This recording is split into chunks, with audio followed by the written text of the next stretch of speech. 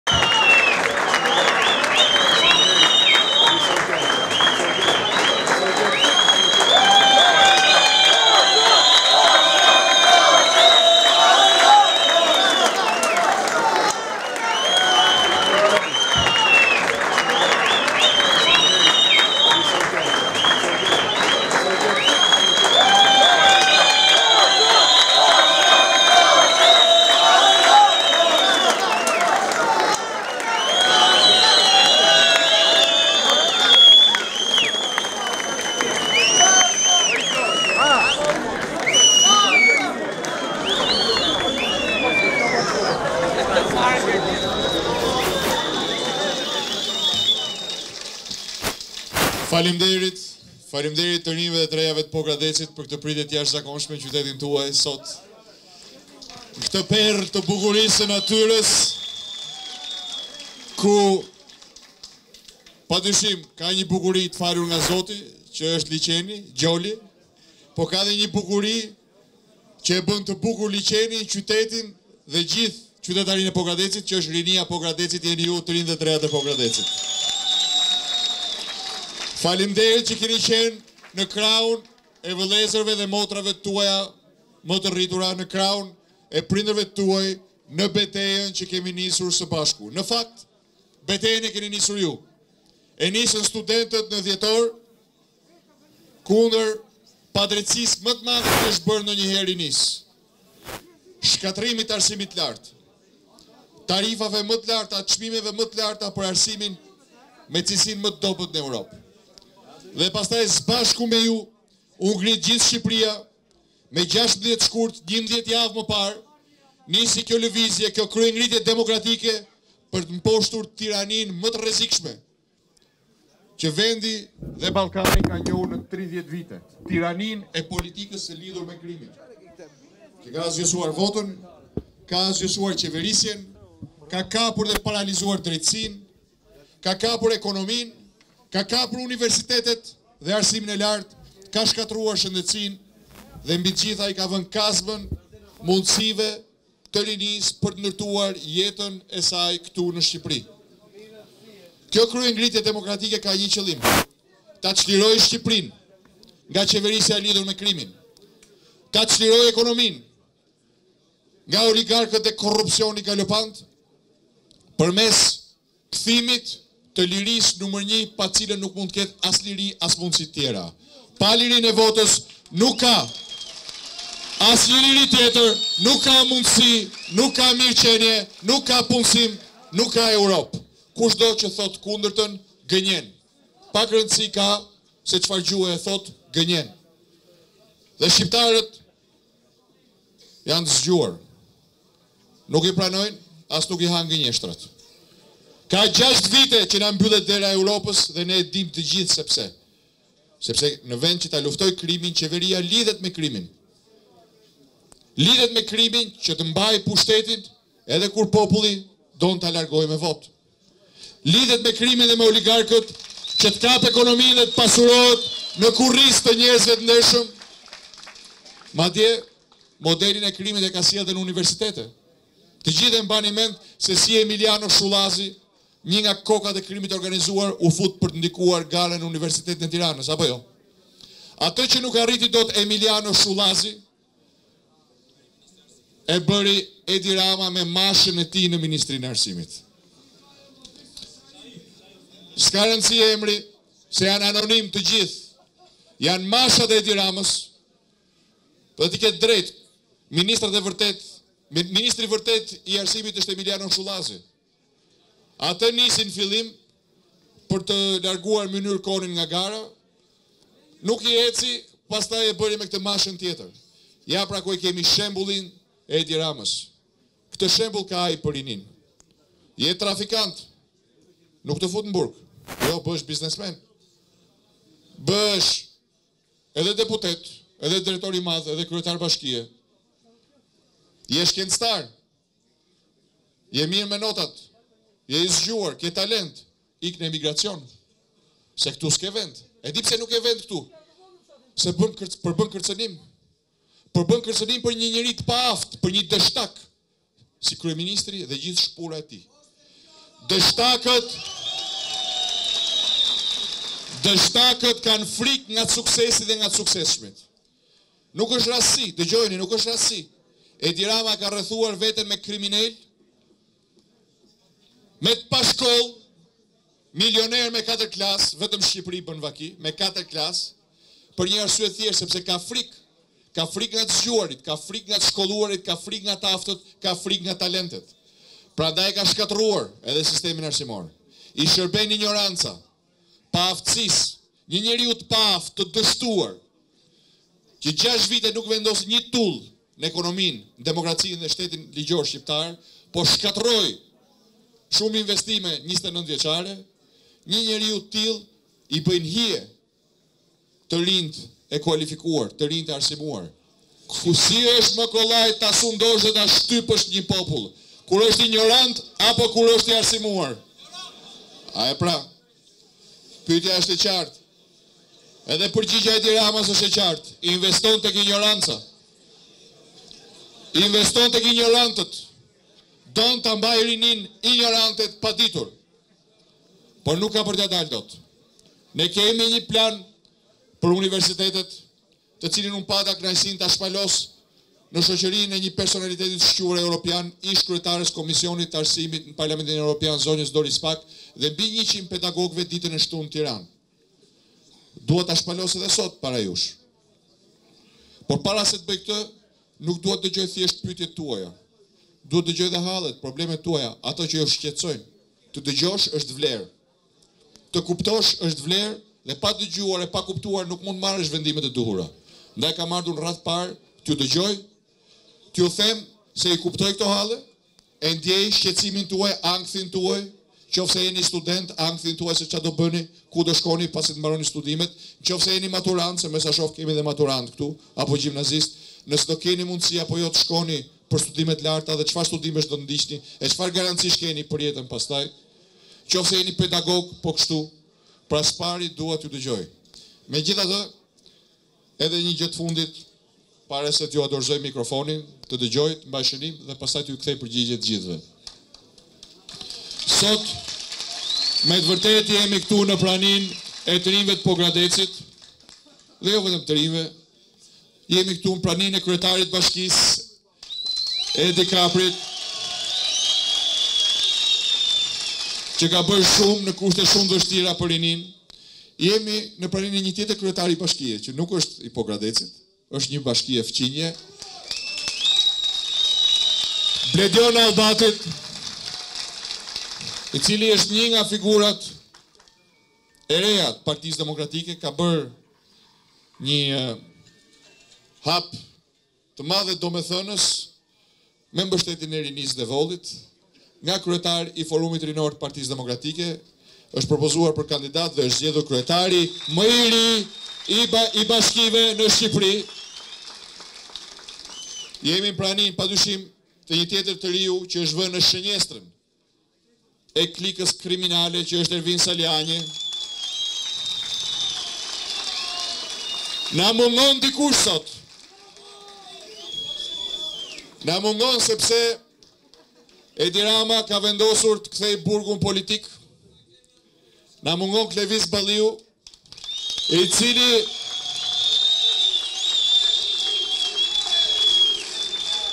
i cili mbahet me urdhër politik vetëm e vetëm sepse qëndroi në krah të qytetarëve që po i dhunonte policia. Unë jam krenar për Klevis Balliun, e di që ju jeni krenar për Klevis Balliun.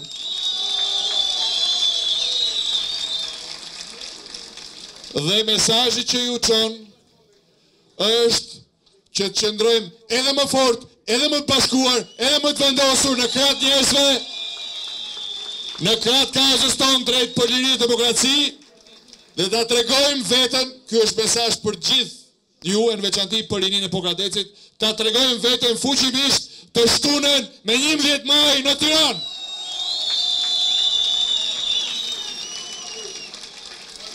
Tani Le ta nisim pa vonesë bashkëbisedimin.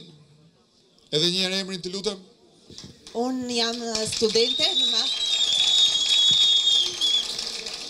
Unë jam studente në master gjuhë letërsi dhe për momentin po zhvilloj një praktikë punësimi në Bashkinë e Pogradecit. Si të gjithë studentët edhe unë mendoj që ose frika ime më saktë është ku do shkojmë ne pasi të mbarojmë shkollën, duke parë se kemi kolegë të themi që kanë nga dhjetë vite që kanë mbaruar shkollën dhe nuk kanë mundur që të gjejnë një vend pune.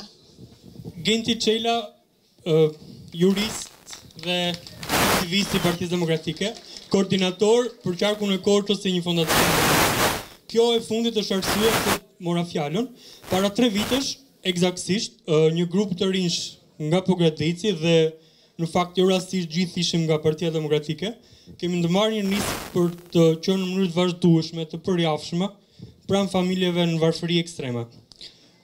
Çdo javë jemi pranë tyre me çfarë mundemi, vlera materiale, por më e rëndësishme është përpiqemi të qëndrojmë pranë tyre dhe t'i kuptojmë shpirtërisht. Ajo që ajo çka vërejmë është fakti i patundshëm se gjithmonë e më tepër herë pas here pas vizitave tona te këta, ata bëhen edhe më të pashpresë, bëhen edhe më të varfër dhe kanë humbur realisht besimin tek çdokush. Ë, pyetja ime për ju është se cila është projekti i Partisë Demokratike juaj për këtë shtresë. Mbase dikush mund të thotë që kjo është politikë e majtë, por unë e refuzoj dhe them që mund të jetë politikë e drejtë dhe jo e majtë, sepse politikat e mira janë politika të drejta. Dhe jam kurioz të di programin e Partisë Demokratike në një të ardhme e cila unë uroj të jetë sa më afërt për të qeverisur Shqipërinë. Faleminderit të gjithëve. Arsyeja përse unë mora fjalën është se doja të dija programin e Partisë Demokratike për arsimin e lartë në Shqipëri, sepse arsimi i lartë në Shqipëri ka degraduar, ka mbaruar domethënë. Romina Gjona. Quhem Indrin Afsllari, kam studiuar në Fakultetin e Ekonomisë dega Menaxhim. Doja të thoja që në qytetin e Pogradecit para disa vitesh ka pasur një degë e Universitetit të Korçës. Neve kjo kjo degë na ndihmonte shumë për arsye se ne po Menaxhim turizëm ka qenë. Na ndihmonte shumë për arsye se Pogradeci është një vend turistik dhe çdo e ardhur ekonomike e këtij qyteti të familjeve varet nga turizmi. Kjo gjë do na ndihmonte ne përgjithësisht dhe për të rritur turizmin familjar të këtij qyteti. Si shumica e fshatrave siç i kemi, kemi fshatin Tushemisht dhe fshatin Lin. E mira është që në këto fshatra pjesëtarët ose studentët e këtyre fshatrave të studiojnë dhe t'i kenë kostot ekonomike sa më të ulëta, jo të studiojnë nëpër qytetet e tjera dhe të bëjnë pagesë për universitetet që të ketë kosto më të lartë për një familje. Neve vijmë nga familje të varfra, nuk vijmë nga familje të pasura për të Patur shpenzime luksi. Faleminderit.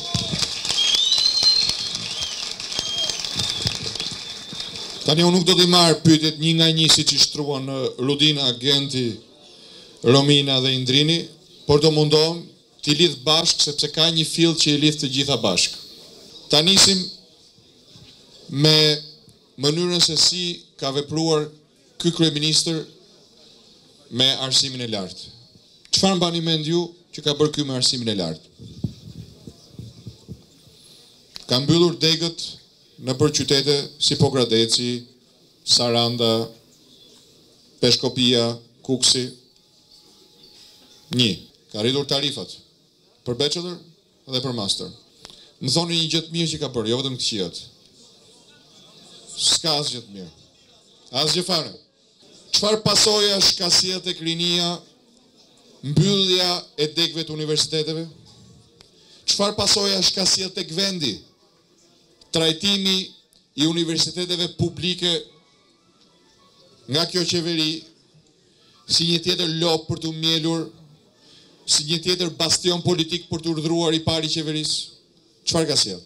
Ka sjellë arsimin me cilësinë më të dobët.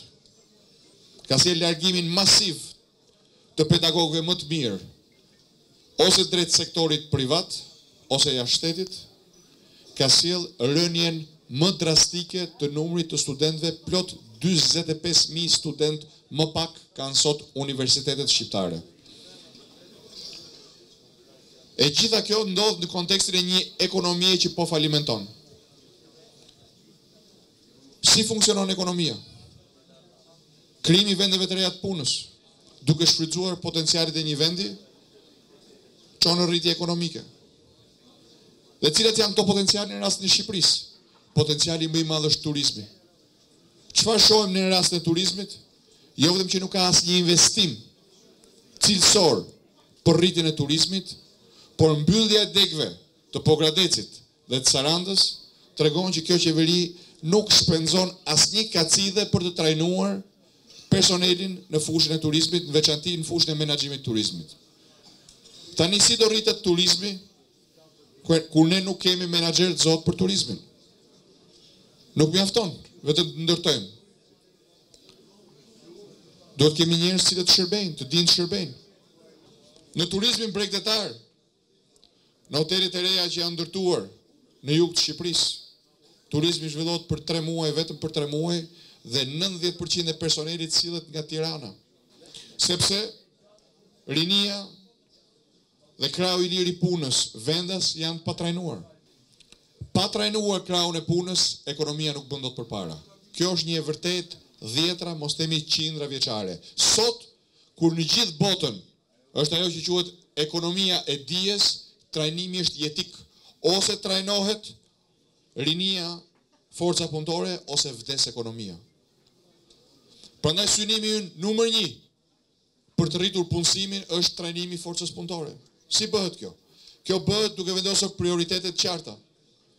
Prioriteti numër një, Është trajnimi i rinisë në ato fusha të rritjes ekonomike që kanë potencial, ku turizmi është kryesori, ku inxhinieritë, mekanike, minerare, elektronike, energjetike, të ndërtimit, janë kryesoret, ku mjekësia, dhe arsimi janë kryesorët. Prandaj ne do të investojmë fuqishëm në këto fusha. Dhe kjo është arsyeja, jo thjesht premtim elektoral, kjo është arsyeja pse ne do të rihapim të gjitha ato degë të mbyllura, jo me qëllimin për të thënë, për të bërë kot që kemi universitet, po për të pasur një shkollë të lartë të trajnimit profesional me pedagogë të kualifikuar me sistemin gjerman të trajtim të trajnimit dual, është modeli gjerman që do të përdorim, që do të thotë pesëdhjetë për qind të kohës në auditor, pesëdhjetë për qind të kohës në praktikë. Dhe në fund të procesit, pas tre vjet bachelor apo pas master, do të ketë për secilin nga ata studentë që plotëson kushtet, një vit praktikë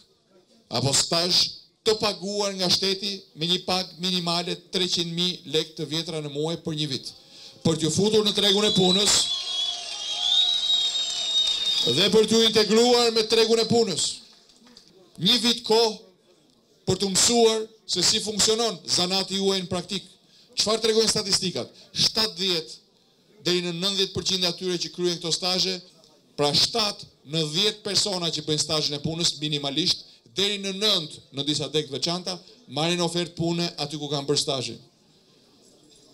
Kështu funksionon dhe kështu do të funksionojë në momentin që ne do t'i kthejmë sytë nga trajnimi profesional dhe jo vetëm të kthejmë sytë, po të kthejmë vullnetin politik. Tani vullneti politik nuk është fjalë. Qeveria flet me buxhet. Sa para ka rezervuar kjo qeveri për trajnimin profesional të rinisë shqiptare? Zero. Ka mbyllur shkollat profesionale. Ne do t'i hapim ato. Dhe për këtë na nevojitet një rritje e madhe e buxhetit të arsimit. Plani ynë për buxhetin e arsimit me pak fjalë është ky. Dyfishim i buxhetit të arsimit sepse arsimi është prioritet kombëtar. Kur them prioritet kombëtar që ta kuptoni që ta kuptoni ndryshimin midis dërdëllitjeve politike dhe çfarë do të thotë kur Partia Demokratike dhe kryetari i Partisë Demokratike shpallin prioritete kombëtare. Kur thamë rrugët janë prioritet kombëtar, ndërtuam tetëdhjetë për qind të rrugëve në gjithë vendin, jeni të gjithë dëshmitarë. Kur thamë energjia dhe energjetika është prioritet kombëtar i dhamë fund epokës së gjeneratorëve, i mbani mend gjeneratorët apo jo? Kur thamë dixhitalizimi është prioritet kombëtar, bëmë regjistrin e gjendjes civile dixhital, bëmë pasaportat biometrike, bëmë kartat e identitetit dhe falë këtyre hoqëm vizat për shqiptarët. I mbani mend vizat apo jo? Bëmë regjistrin kombëtar të biznesit, QKR-në, Qendrën Kombëtare të Regjistrimit. Sot po ju deklaroj se prioriteti kombëtar i Qeverisë së ardhshme të Partisë Demokratike do të jetë arsimi e në veçanti arsimi i lartë dhe kjo do të thotë dyfishim i buxhetit për arsimin e lartë plot shtatëdhjetë e katër milionë dollarë më shumë të cilat sot Edi Rama i shpenzon për të rindërtuar zyrat e tij për të blerë objekte lluksi. Për të ndryshuar flotën e automjeteve të lluksit ku ulen qeveritarët. Për të shtuar me tetëdhjetë milionë dollarë në vit udhëtimet, hotelet, biletat, të gjitha këto shpenzime, harxhime, vjedhje, do të marrin fund, shtatëdhjetë e katër milionë dollarë më shumë në vit do të shkojnë për arsimin e lartë. Si do t'i shpenzojmë? Gjysma e kësaj shume do të shkojë drejtpërdrejt për të ndihmuar familjet që duan të çojnë fëmijët në universitet. Do të dedikojmë gjysmën e kësaj shume për të paguar tarifën e çdo studenti dhe çdo studente që vjen nga familje me më pak se gjashtëqind e dyzet mijë lekë të ardhura në muaj. Unë e di nga statistikat zyrtare se nëntëdhjetë për qind e studentëve shqiptarë Nëntë në dhjetë studentë shqiptarë, familjet e tyre kanë më pak se gjashtëqind e dyzet mijë lekë të vjetra në muaj të ardhura. Është kështu apo jo? Të gjithë studentët, pra, që vijnë nga këto familje do të përfitojnë subvencion njëqind për qind të tarifës që do të thotë nuk do të paguajnë asgjë as për tarifën e bachelor, as për tarifën e master në universitetet publike. Ata që vijnë nga familje me të ardhura mbi gjashtëqind e dyzet mijë lekë të vjetra në muaj do të paguajnë gjysmën e tarifës. Edhe për ata do të ketë përgjysmim të tarifës, gjysmën tjetër do ta subvencionojë shteti. Mbetet një shumë prej tridhjetë e dy milionë dollarësh në vit, e cila do të ndahet si vijon. Pesë milionë në vit do të përdoren për familjet që edhe po t'jua paguash tarifën, prapëseprapë nuk i çojnë dot fëmijët në shkollë, nuk i çojnë dot në universitet. S'kanë para t'ju blenë asgjë, as këpucë, as libra, as ushqimin, as abonenë e autobusit, as biletën interurbane që të shkojnë e të vijnë në qoftë se jetojnë në një qytet tjetër, as qiranë. Përbëhet pra nga afro pesë mijë studentë të cilëve me anë të buxhetit të shtetit do t'i mundësohet një bursë, pamundësia ekonomike e familjes nuk do të jetë pengesë për asnjë të ri në familje shqiptare që të shkojë në universitet me planin tonë për arsimin e lartë. Pjesa tjetër. e buxhetit do të përdoret për infrastrukturën studentore, konviktet, dhe për infrastrukturën universitare, auditorët, laboratorët, teknologjinë e informacionit, që të japim fund nivelit primitiv ku ndodhen universitetet sot, dhe në veçanti për të financuar ato degë që janë premtuese për ekonominë. Dihet që turizmi shqiptar të rritet ka nevojë për personel të kualifikuar. Deri më sot një pjesë prej tyre kanë ardhur se e mësuan zanatin në Greqi. Apo në Itali. Po pse kështu do të vazhdojë turizmi shqiptar? Çoji të rinjtë kurbet që të mësojnë se si bëhen pica dhe prit pastaj që të kthehen dhe të bëjnë pica në Shqipëri. Jo kështu s'mund të vazhdohet. Ne do të financojmë kapacitetet trajnuse për turizmin në vendin tonë. Që do të thotë ne do të paguajmë për pedagogët më të mirë, ne do ta bëjmë anglishten gjuhë të detyrueshme në të gjitha degët të cilat kanë potencial zhvillimi duke nisur me turizmin dhe do të bëjmë të mundur pra përmes këtij financimi që këtu në Pogradec trajnohet jo vetëm rinia e Pogradecit që ka plot potencialin e turizmit në këtë zonë të mrekullueshme, po të vijnë trajnohen edhe të tjerët. Njëta gjë edhe me Sarandën. Vetëm me personel të kualifikuar do të mundet ne pastaj të zhvillojmë degën e turizmit, që është një nga degët më fitimprurëse për ekonominë e vendeve që mund të ofrojnë turizëm. Kriza më e thellë ekonomike në kujtesën e grekërve u kalua përmes turizmit. Potencialet tona të turizmit jo thjesht dhe vetëm do të ndalin krizën ekonomike, po do të bëjnë të mundur që ky liqen, kjo bukuri natyrore dhe mikpritja e Pogradecit të kthehet në një bekim ekonomik për çdo familje të Pogradecit, drejtpërdrejt dhe indirekt përmes industrisë turizmit. Dhe ky është investimi më i mirë për të vrarë dëshpërimin Gent të atyre familjeve, di pse janë dëshpëruar ato? Se edhe në qoftë se ju ia shuani urinë me një bukë që i çoni apo një pako ushqime që i çoni, ju nuk i hiqni dot dëshpërimin se ça do të ndodhë nesër. Dhe pasigurinë për nesër nuk e mbulon dot ndihma ekonomike. Padyshim që do të ketë një skemë të ndihmës ekonomike për ata që nuk hyjnë dot në treg. Po për fëmijët e tyre ne duhet të sigurojmë punësim. Punësim, shanse për punësim me paga dinjitoze, me kushte dinjitoze. Dhe me një pasuri të tillë përrallore si liqeni i Pogradecit dhe zona përreth me agroturizëm. Ky vend e ka të mundur jo thjesht të nxjerrë nga mjerimi familjet në ndihmë ekonomike, por të ofrojë shanse për punësim të kthehet një pikë emigracioni, po jo ku ikin, ku vijnë emigrantë për të punuar e për të kërkuar vende pune. Prandaj përgjigja jonë ndaj këtyre familjeve është të kenë shpresë se Shqipëria do të ketë një të ardhme, Pogradeci do të ketë një të ardhme, familjet e tyre do të kenë një të ardhme dhe kjo është më shumë se kurrë sot në dorën tonë, është në dorën tuaj, është në dorën e këtij bashkimi të madh që ka nisur më gjashtëmbëdhjetë shkurt dhe që duhet të vazhdojë derisa të realizojmë stacionin tonë të parë të fitores, largimin e Edi Ramës, një qeveri tranzitore, zgjedhje të lira dhe të ndershme.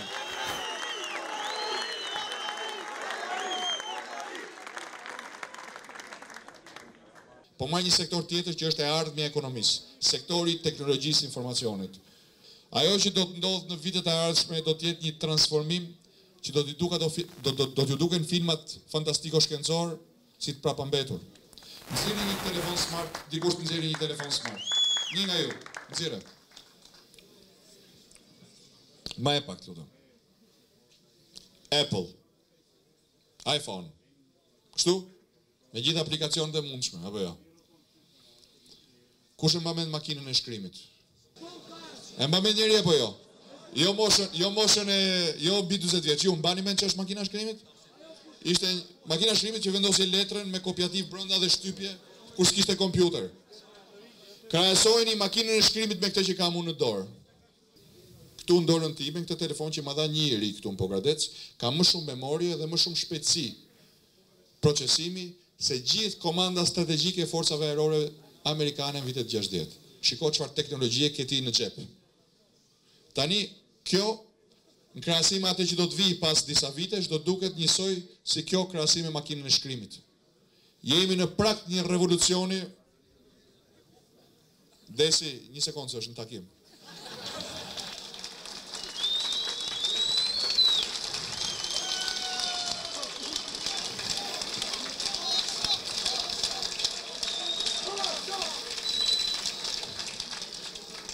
Nuk tregova ndonjë sekret, apo jo? Se Desi ishte me ikonë me sytë me zemra.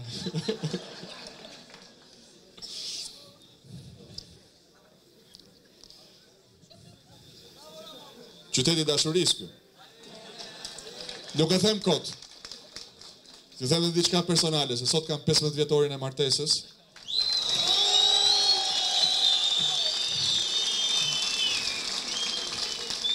Por lidhjen me Aurelën e kam pagëzuar këtu në Pogradec.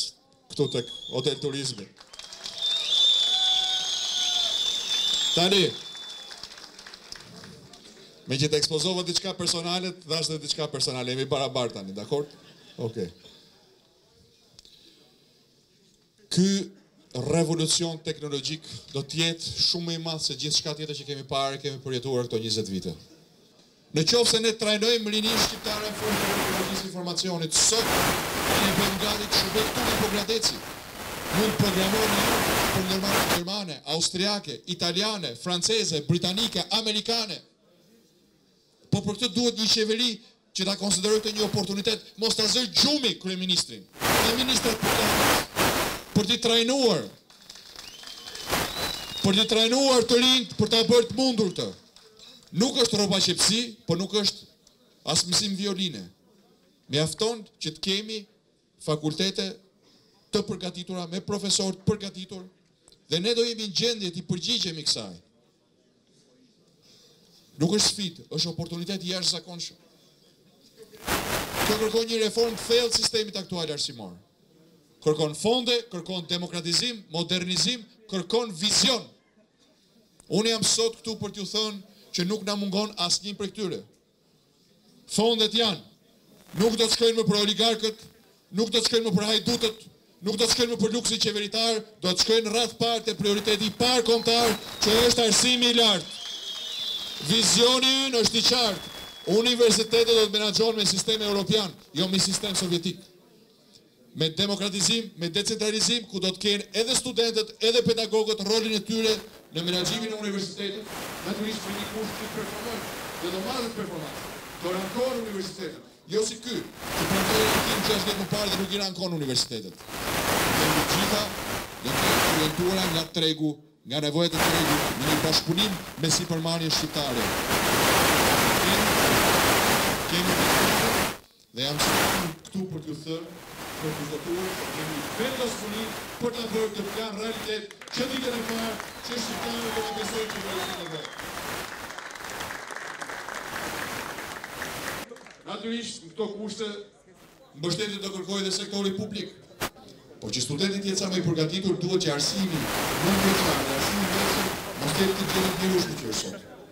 Dhe një nga arsyet pse është kjo gjendje është sepse nuk ka mjaftueshëm mësues dhe nuk ka mësues të përgatitur. Për shkak të korrupsionit në emërimet, me të ashtuquajturin portal, se tani gjithçka është me portal, portali është një mashtrim, është një fasadë, pas të cilës fshihet fakti që Edi Rama i emëron të gjithë nga zyra e vet, mësuesit, mjekët, infermierët, gardianët e burgut, të gjithë, Pushohen nga puna nga paradhoma e Edi Ramës, emërohen nga puna nga paradhoma e Edi Ramës, jo në bazë të aftësive të tyre, po në bazë të tekave, të kartelave politike apo të ndërhyrjeve të krimit dhe të oligarkëve. Kësaj rutine ne do t'i japim fund dhe kjo është garancia që ti dhe të tjerët si ty që trajnohen të jenë mësues dhe që duan të jenë mësues dhe që kanë aftësinë dhe pasionin të jenë mësues, do të keni mundësinë që ta bëni këtë me një mision të madh. Që rininë universitare ta përgatisni përmes duarve tuaja t'i sillni nga shkollat nëntëvjeçare dhe nga shkollat e mesme në shkollën e lartë me përgatitjen më të lartë dhe një nga kushtet për këtë do të jetë anglishtja gjuhë bazë e detyrueshme për të gjithë fëmijët shqiptarë. Të gjithë studentët shqiptarë që do të shkojnë në universitet do ta kenë anglishten gjuhë pune. Ky është një program kombëtar i cili do të zhvillohet në çdo shkollë të vendit pavarësisht sa larg në fshatin më të thellët dhe në qytetin më të vogël të vendit fëmijët shqiptarë do të mësojnë anglishten dhe do ta kenë gjuhën e dytë pas gjuhës së nënës do ta kenë gjuhë pune. Këto janë miqtë e mi me pak fjalë zgjidhjet që ne do të vëmë në jetë. do të zbatojmë dhe për këto vullneti politik i munguar do të marrë fund me qeverinë e ardhshme të Partisë Demokratike. Vizioni që kam, plani që kemi, do të marrë jetë vetëm kur ne të kemi mundësi Të zgjedhim një qeveri me votë të qytetarëve dhe jo të diktuar nga interesat e krimit dhe të oligarkëve. Prandaj beteja e parë që duhet të fitojmë është beteja për zgjedhje të lira të ndershme. Po nuk e fituam këtë betejë, asnjë betejë tjetër nuk mund të fitohet. Është e qartë që me Edi Ramën nuk ka asnjë lloj zhvillimi, asnjë lloj përparimi, asnjë lloj integrimi. Miqtë e tij që vijnë për qokat e fundit para se t'u mbarojë mandati, nuk e shpëtojnë dot nga ky realitet. Është Edi Rama pengesa kryesore për Shqipërinë Europiane. Është Edi Rama pengesa kryesore për hapjen e negociatave. Pse? Se është një kryeministër i lidhur me krimin. Është një kryeministër i kapur në vjedhje.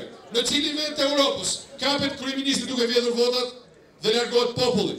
Jo, në Europë Kur kapet qeveria duke vjedhur, ikën qeveria, shkojnë fajtorët burg, nuk largohet populli emigrant.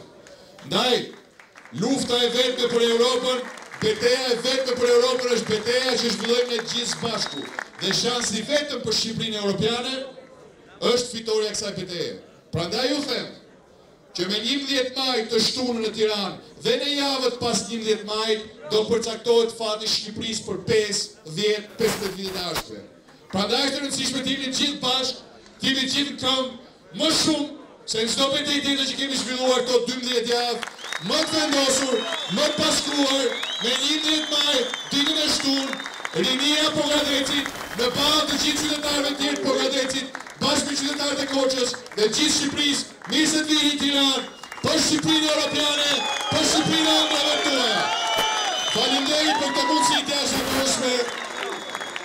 Mirë u takofshim në Tiranë e mirupafshim në bisedën tonë të ardhshme për platformën tonë, vizionin tonë për Shqipërinë Europiane! Faleminderit!